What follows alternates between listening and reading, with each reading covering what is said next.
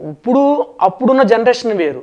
అప్పుడు సిచ్యువేషన్ సినిమాలు తీసేటప్పుడు తక్కువ బడ్జెట్ అయిపోతుంది ఇప్పుడు ఏంటంటే సినిమా కావాలి అంటే మనం ఇప్పుడు నేషనల్ నేషనల్ వైడ్ ఇంటర్నేషనల్ వైడ్కి వెళ్ళిపోయాం మనం. ఫస్ట్ ఆలోచన చేయాల్సిన విషయం. నేషనల్ అన్నది ఇక్కడ ఇంటర్నేషనల్ అనేది ఓల్డ్ వైడ్. ఓల్డ్ వైడ్కి వెళ్ళిన తర్వాత మన జనరేషన్ మనం మార్చుకున్నాం కాబట్టి మనం ఇప్పుడు ఆ ఆదాయము ఖర్చు రెండు పెరుగుతున్నాయి. ఇప్పుడు ఆదాయం ఇక్కడ ఖర్చు. రెండు ఇలా పైకి లేస్తున్నప్పుడు రెండు కావాలి.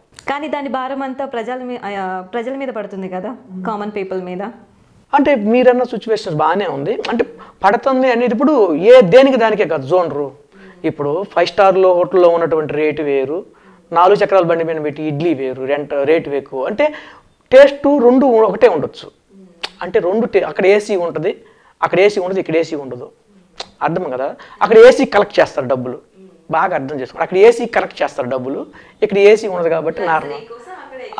లగ్జరీ ఉంటుంది. అంతే.